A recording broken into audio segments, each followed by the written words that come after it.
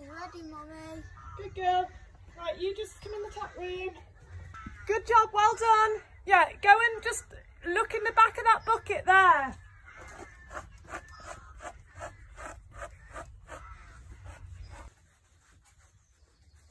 Good job. Oh, good girl. You've done a brilliant job.